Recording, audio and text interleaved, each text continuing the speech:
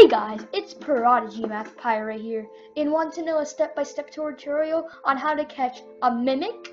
Well, guess what? This is the right video for you. Stay tuned after the intro to find out. Catch all.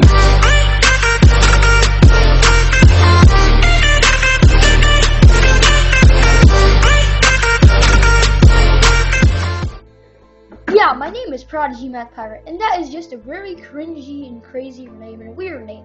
But yeah, I post tutorials and different kinds of cringe videos, other videos on my Prodigy channel. If you haven't already, make sure to hit that subscribe button down below and make sure to like this video at the end if this helps you out. So, I'm going to be showing you guys how to catch a mimic. The mimic is just, um, it literally is a treasure chest in Prodigy with teeth on it. And why you might want to get the Mimic? Well, well, a reason why you might want to get the Mimic is so that you can have a cool nickname. As you can see, my name in Prodigy is First Mate Unleashed. First Mate, that's a cool nickname you can have at the beginning of your name. If you catch a Mimic, it allows you to get a name we call Treasure Hunter. So if I catch a Mimic, I can get a name called Treasure Hunter Unleashed. So before you get bored, let's just head on over to where you can catch a Mimic. So the first step to do is you want to go over here to the ship place called Shipwreck Shore and click play. Titan is there, just don't click on the Titan part. You'll see Captain Eve. It doesn't matter if you have to follow the quest or not, you just want to head on over. So what you want to do now is you want to go to the right, where I'm going, right here. And then you want to battle this cell pets, and then you want to go up these stairs over here. Three zero five three. Oh, oops. Do you know the way?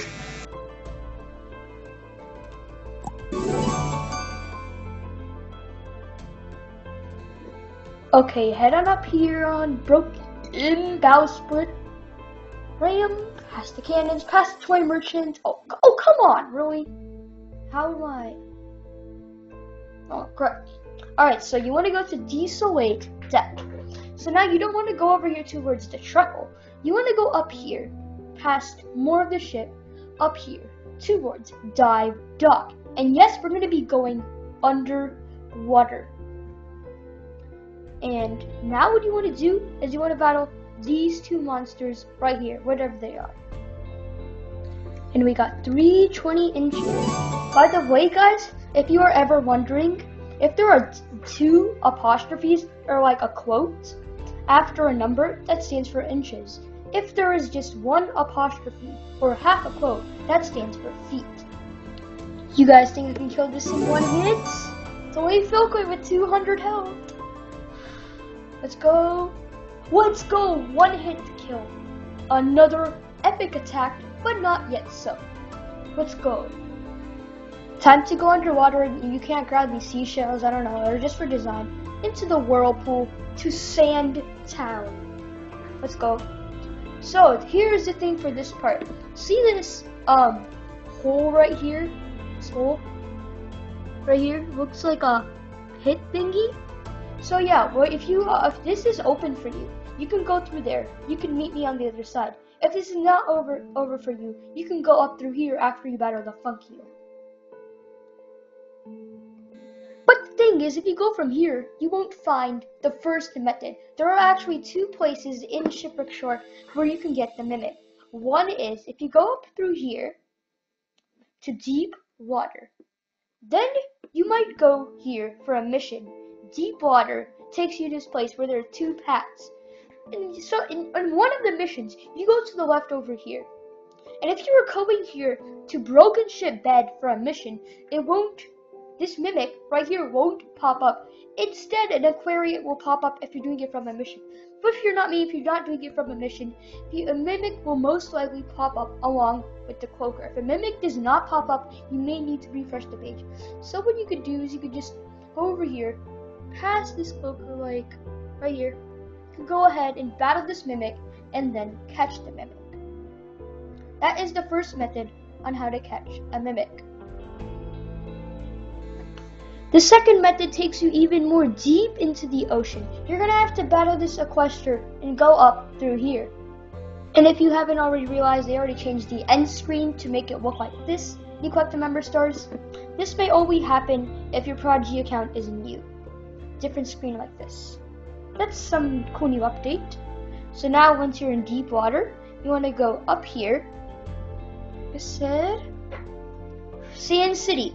Alright, so you're gonna have to battle these two monsters. Well, guess what? You don't have to. There's a little trick to get skip by these two monsters if you're lazy enough to do that.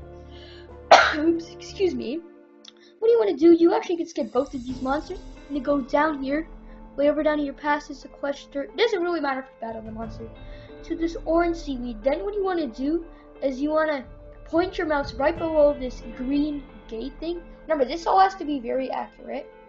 Can go right here, up to the top, and there you go. You can pass that Equester and Funkio. You will go to Second Shipwreck. Now, if you did take the porthole from Fort, porthole, whatever, you may end up here, where we are right now. All you need to do is battle one of these monsters. I will rather battle the Gennady, which is right here. And then, you want to go down. Yeah, and here's the thing, if you about going down this ramp right here. If you have not completed a lot of Shipwreck Shore, you may I mean the water quest of Shipwreck Shore, you may not be able to access this place. Instead you may want to go to the first area like I requested. But for people who want to do this, if you're on away from a mission, one of those long missions, you can do this. Because you're gonna have to go all the way down. So, if ink is available for you, you can go through here, do these caverns, which are really boring. Oh, they're not even enemies to battle here. This is where you battle the old one. The final boss of Super Mountains. That door which I use my mouse to scroll around right there. Cargo hold, there's a member chest. Go up here. The other is just a light. Here you got to upper deck. And of course, you better want to go up here. Not to the left, to the ivory tripos, but up here towards the crow's nest. And there is not a lot of monsters to battle. And yeah, here's the crow's nest, a new tour, but this is not a prodigy tour. We're just gonna go up here to the far beach. There are some really good labeled places here.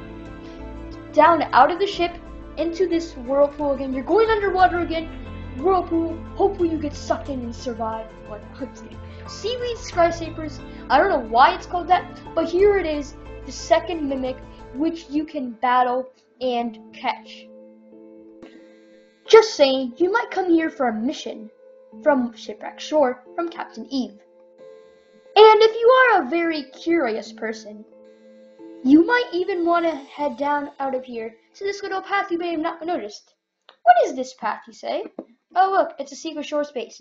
And then I think there's like stuff here. And there's a another chest you can open if you're wanting to collect a non-member chest. Out of this chest, you get a wand called Moyonta's Blade. It does 30 damage bonus. And I can show you because I already have it. Let me just see if I can find it. Uh, it literally looks like a sword you can use for fencing. And yeah, don't read the description. It's kind of creepy. So yeah. And so guys, if you did enjoy that video, make sure to give this video a huge thumbs up. And I hope you don't forget to subscribe to my channel. Yeah, and I hope you do. And I, I do post tutorials, lots of them. And I'll see you all next time in another Prodigy video.